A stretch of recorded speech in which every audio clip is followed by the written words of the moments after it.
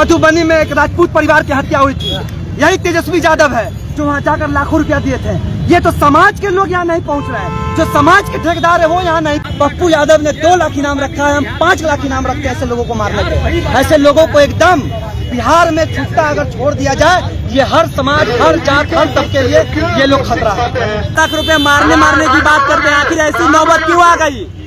देखिए इतना जान लीजिए हाँ। जब हाथी पागल हो जाए तो उसको मारने के अलावा कोई रास्ता नहीं बनता है। मोहना ठाकुर जैसा अगर उग्रवादी आतंकवादी और अपराधी समाज में ऐसे ही छुट्टा घूमेगा तो हर समाज हर तबके के लोगों को इससे खतरा है। ऐसे लोगों को गोली मार ही देना चाहिए। बीच चौराहे पे मोहना ठाकुर अगर हमें मिल जाए उसको फांसी पे लटका देंगे ऐसे ऐसे अपराधियों को इस देश में इस बिहार में इस शहर में रहने की कोई ज़रूरत नहीं है। ये नीतीश कुमार की पुतला को दहन किया जा रहा है और ये कहीं ना कहीं एक संकेतिक अभी दिखाया जा रहा है एक संकेत दिया जा रहा है कि किस तरह से ये ये तस्वीरें देखिए।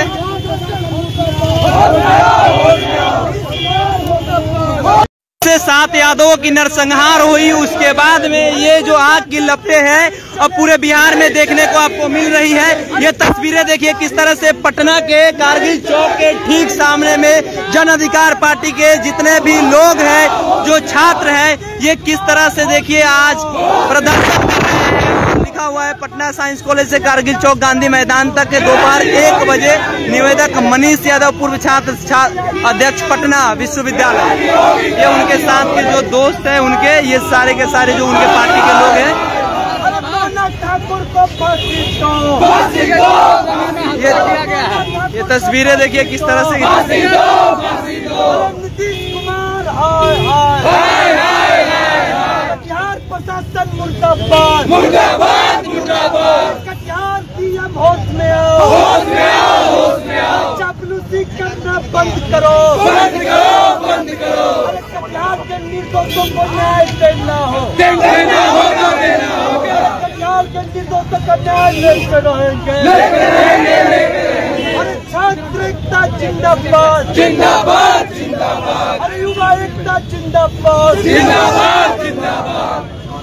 नीतीश कुमार मुर्दाबाद। मुर्दाबाद। मुर्दाबाद गरीब किसानों की हत्या करना बंद करो। बंद करो बंद करो। गरीब किसानों का नमस्कार करना बंद करो। बंद करो बंद करो नीतीश कुमार गुंडागर्दी नहीं चलेगी। नहीं चलेगी नहीं चलेगी। नीतीश कुमार मुर्दाबाद। मुर्दाबाद मुर्दाबाद। बिहार प्रशासन मुर्दाबाद। मुर्दाबाद मुर्दाबाद। नीतीश कुमार मुर्दाबाद मुर्दाबाद नीतीश कुमार मुर्दाबाद। मुर्दाबाद मुर्दाबाद। बिहार प्रशासन मुर्दाबाद। ये तस्वीरें देखिए आज किस तरह से नीतीश कुमार के प्रशासन के ऊपर में सवाल उठाया जा रहा है कि कटिहार में जो सात यादव सात किसानों की नरसंहार हुई उसको लेकर के पटना में जो पटना यूनिवर्सिटी के पूर्व छात्र अध्यक्ष है मनीष यादव ने एक पैदल मार्च निकाला है पटना साइंस कॉलेज से लेकर के पटना कारगिल चौक तक दोपहर एक बजे करीब में और लगभग लगभग सैकड़ों तो नहीं कह सकते लेकिन साठ से सत्तर जो इनके छात्र है सबको कोई यहाँ आए हुए हैं और ये लोग दिखा रहे हैं, एक विरोध मार्च निकाले हुए हैं, ये कह रहे हैं कि यादवों के साथ नरसंहार हो रहा है, सरकार क्यों मौन है। आपको याद होगा कि किस तरह से जब एक अभी एक हाल ही में एक वेब सीरीज़ आई है खाकी, उसमें दिखाया गया है कि किस तरह से जब नालंदा में नरसंहार होता है तो सीएमओ हाउस से फ़ोन जाता है और बताया जाता है कि कप्तान साहब, आपके जिला में किस तरह से हत्या हो रहा है? यादवों का आप मौन क्यों है? लेकिन आज तेजस्वी यादव मौन है। ये सवाल अपने आप में बेहद खास है। यही तस्वीरें हम आपको दिखा रहे हैं। पटना कारगिल चौक से ये तस्वीरें हम दिखा रहे हैं कि जो कटिहार में हुआ, दो तारीख को ये कांड हुआ और दो तारीख से आज बारह तारीख हो गया। उसमें मोहना ठाकुर को अभी तक गिरफ़्तार नहीं किया गया। क्या कारण है? इन तमाम मुद्दों पे बाद में बात करेंगे, लेकिन अभी देखिए नीतीश कुमार की पुतला को दहन किया जा रहा है और ये कहीं ना कहीं एक संकेतिक अभी दिखाया जा रहा है, एक संकेत दिया जा रहा है कि किस तरह से ये ये तस्वीरें देखिए।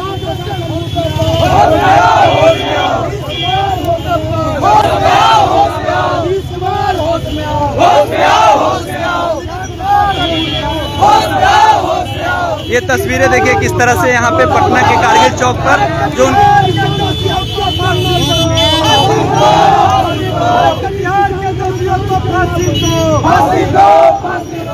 कटिहार मामले की सीबीआई जाँच करानी होगी कटिहार मामले की सीबीआई जाँच करानी होगी ऐसी नारे लगाए जाए।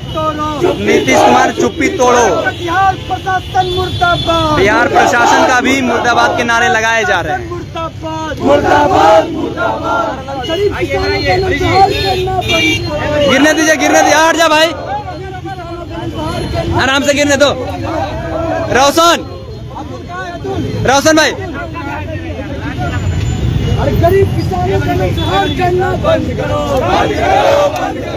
ये तस्वीरें देखिए अब हम आपको दिखा रहे हैं कि जो पटना यूनिवर्सिटी के पूर्व छात्र अध्यक्ष हैं मनीष यादव जिनके संरक्षण में ये आज पटना के सड़कों पर पुतला दहन किया गया। अब मनीष जी इस पे बातचीत अपना कहेंगे। बस कुछ ही देर में हम आपको लाइव पूरा तस्वीरें हम आपको दिखाएँगे कि किस तरह से ये सारी की सारी मामला धीरे धीरे अब बढ़ रहा है। एक सोचने वाली बात होगी कि ये कांड अगर दो तारीख को हुआ है तो दो तारीख से बारह तारीख हो गया और नीतीश कुमार खुद कहते हैं कि हम न क्राइम न करप्शन न कम्युनलिज्म से समझौता करते हैं तो आखिर में क्या, ऐसी क्या ज़रूरत हो गई कि वो एकदम से शांत हो गए हैं? और अब हम बातचीत करना शुरू करते हैं। आपको हम बातचीत सुनाते हैं सीधा थोड़ा माइक नीचे करे भाई थोड़ा सा माइक नीचे कर लीजिए सभी कोई बड़े भाई क्या मामला है है? को अरे माइक में भैया किसी को लेके क्या टोटल मामला क्या है ये ज़ोर से देखिए आज पंद्रह दिन बीत चुके हैं पंद्रह दिन बीतने के बाद जी अपराधी है मोहना ठाकुर हाँ जो मोहना ठाकुर अपराधी है वो घूम घूम कर इंटरव्यू और बयान दे रहा है। अपनी लोकप्रियता बढ़ाने में लगा हुआ है। लेकिन कटिहार का प्रशासन अभी तक उसको पकड़ने में नाकाम है। कटिहार डीएम सिर्फ़ और सिर्फ़ बयानबाजी कर रहे हैं। कटिहार एसएसपी मोहना ठाकुर को बचाने में लगा हुआ है। और बिहार का जो सरकार है, वो गांधी जी के तीन बंदरों की तरह आँख पे पट्टी बाँध चुकी है, मुँह पे पट्टी बाँध चुकी है। और कानों को पूरी तरह बंद कर चुका है। अरे शांत हो जा भाई। तरह से पूरी तरह से बिहार प्रशासन पूरी तरह से बिहार प्रशासन लाचार नज़र आ रही है इस मामले पे। गरीब किसानों की हत्या हुई है। गरीब किसानों की हत्या हुई है। सरकार न तो अभी तक मुआवजा देने पहुँची है। न तो सरकार की तरफ़ से कोई लोग उनको आश्वासन देने पहुँचे हैं। न सुरक्षा व्यवस्था की कोई गारंटी है। न वहाँ पे अभी तक कोई प्रशासन ने जाके कोई ठोस कदम उठाया है। पूरी तरह से ये सरकार अपराध के मामले में पूरी तरह से विफल नज़र आ रही है। हमारी मांग है कि इस मामले में बड़े बड़े नेताओं का भी हाथ है। मोहना ठाकुर गिरफ्तारी नहीं होने के पीछे। सीबीआई जाँच की मांग आज हम लोग करने आए हैं। अगर सीबीआई जाँच नहीं होती है और मोहना ठाकुर को बहत्तर घंटे के अंदर अगर गिरफ़्तार नहीं किया जाता है, मुख्यमंत्री आवास का हम लोग घेराव करने निकलेंगे। पूरा पटना विश्वविद्यालय, पूरा बिहार का लोग एकजुट होकर इस नाकारा निकम्मी सरकार के खिलाफ, हमें तो लगा था कि महागठबंधन की सरकार है। ये जिनकी हत्या हुई है कौन लोग हैं? ये वही महागठबंधन के लोग हैं जो सबसे अग्रिम पंक्ति में लाठी लेकर खड़े रहते हैं। आखिर इनके साथ भी आज अन्याय हो रहा है तो ये किस पे चुप्पी तोड़ेंगे? ये किसके लिए सरकार में बैठे हुए हैं? ये पूरी तरह से लाचार और विफल सरकार है। जब तक इन लोगों को न्याय नहीं मिलता, सिर्फ़ एक नेता, पप्पू यादव भी ये इन लोगों के पास गए हैं, जिनके बाद कुछ कार्रवाई हुई है।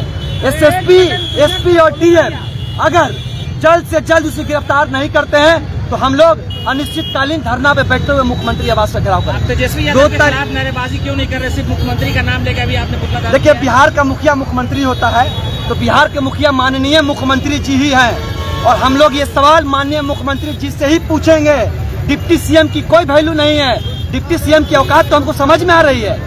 आज जब न्याय नहीं मिल रहा है उनके समाज के लोग थे उनके पार्टी के मज़बूत कोर वोटर थे हमने तो उनकी औकात जान ली कि उनकी औकात क्या है। तो स्पष्ट है ये न्याय बिहार के माननीय मुख्यमंत्री जी अगर नहीं दिलवा पाएँगे हम लोग मरने मारने को तैयार है लेकिन गरीब वंचितों पे जिस तरह से नरसंहार हुआ इसके खिलाफ हम लोग चुप नहीं दो तारीख की मामला है और आज बारह तारीख को आप प्रोटेस्ट कर रहे हैं। बीच में कहाँ मतलब सारे नेता कहाँ गायब थे? देखिए हम लोग लगातार जनसंपर्क के माध्यम से लोगों को बता रहे हैं इस मामले में क्या गंभीरता है। और लगातार हम लोग छात्रों के बीच जाकर युवाओं के बीच जाकर जनसंपर्क के माध्यम से धरना के माध्यम से हम लोग और हम लोग इसीलिए लेट से उतरे हैं हम लोग सरकार का न्याय देखना चाह रहे हैं। हम लोग सरकार का न्याय देखना चाह रहे थे इसलिए हम लोग अभी लेट उतरे अगर अब जाँच नहीं होती है मुख्यमंत्री आवास से घेराव मरने मारने से लेकर धरना प्रदर्शन आपके हैं। नेताजी न्याय पे विश्वास नहीं करते दो लाख रुपए मारने मारने की बात करते हैं आखिर ऐसी नौबत क्यों आ गई? देखिए इतना जान लीजिए हाँ। जब हाथी पागल हो जाए तो उसको मारने के अलावा हाँ। कोई रास्ता नहीं बनता है मोहना ठाकुर जैसा अगर उग्रवादी हाँ। आतंकवादी और अपराधी हाँ। समाज में ऐसे ही छुट्टा घूमेगा तो हर समाज हर तबके के लोगों को इससे खतरा है। ऐसे लोगों को गोली मार ही देना चाहिए। बीच चौराहे पे मोहना ठाकुर अगर हमें मिल जाए उसको फांसी पे लटका देंगे। ऐसे ऐसे अपराधियों को इस देश में इस बिहार में इस शहर में रहने की कोई ज़रूरत नहीं है। नहीं नहीं आप ऐसा लोग नहीं लोग कह रहे हैं कि यादवों की हत्या हुई है जबकि सरकार ए टू जेड की है तो फिर यादव मुसलमान ब्राह्मण बुनियार ये क्यों आप लोग लिख रहे हैं? देखिए ए टू जेड के चक्कर में आप अगर न्याय भूल रहे हैं तो मैं मानता हूँ ऐसी सरकार नहीं रहे बिहार में। क्या ए टू जेड इसी मधुबनी में एक राजपूत परिवार की हत्या हुई थी। यही तेजस्वी यादव है, जो वहाँ जाकर लाखों रुपया दिए थे। ये तो समाज के लोग यहाँ नहीं पहुँच रहे हैं। जो समाज के ठेकेदार है, वो यहाँ नहीं पहुँच रहे हैं। तो आप पूरी तरह समझिए कि आज ये समाज पूरी तरह से लाचार हो चुका है। इसको देखने वाला कोई नहीं है। और जिस तरह से जो सरकार के लोग हैं, जो इसके कोर वोटर थे, ये समाज के लोग, उन पे अगर आज चाहिए और ये चुप्पी शादी हुई है तो शायद मुझे लगता है चौबीस और पच्चीस का चुनाव बहुत नज़दीक है बताने के लिए कि क्या। आरोप है कि पप्पू यादव हैं हैं देखिए स्पष्ट सुन लीजिए हम लोग भी कटिहार जा रहे हैं। कम से कम पटना से 100 गाड़ी से जाएँगे। हमारी जो भी जरूरतें होगी वहाँ हम लोग कैंप करेंगे। वहाँ जो भी मदद गाँव वालों को हमसे चाहिए होगा मदद देंगे वहीं रहेंगे वहीं सोएँगे। और चैलेंज करते हैं आप लोग के चैनल के माध्यम से। कि जिसे हिम्मत होगा उस कटिहार दियरा में मनीष यादव उस संगठन के लोगों से फरिया के दिखा देगा। चलिए धन्यवाद। मनीष मनीष कुमार? मनीष जी मनीष जी एक सवाल।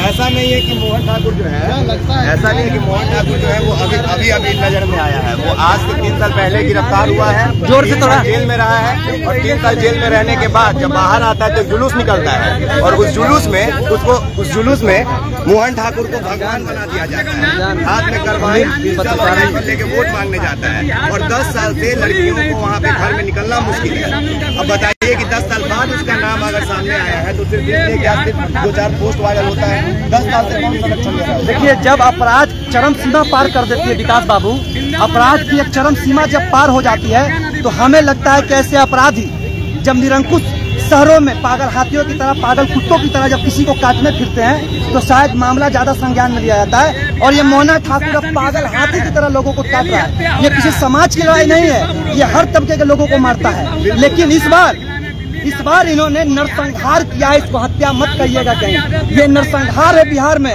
और ऐसे लोगों को, पप्पू यादव ने दो लाख इनाम रखा है, हम पाँच लाख इनाम रखते हैं ऐसे लोगों को मारने के ऐसे लोगों को एकदम बिहार में छुट्टा अगर छोड़ दिया जाए, ये हर समाज, हर जात, हर तबके लिए ये लोग खतरा है। चलिए, शुक्रिया। तो देख लीजिए जो नरसंहार की मामला थी, अब ये आग की लपटे पूरे बिहार में धीरे धीरे फैलना शुरू हो गई है। और साफ़ तौर पे कहा जाए तो दो, जो दो तारीख का घटना था, वो अब सात तारीख, नौ तारीख और बारह तारीख क्या, आने वाले समय में देखा जाए तो धीरे धीरे बढ़ते जाएगा। बाकी, नमस्कार, नाम कैसा हुआ? पब्लिक स्टेशन पे फेसबुक लाइव पेज देख रहे थे। बहुत बहुत धन्यवाद।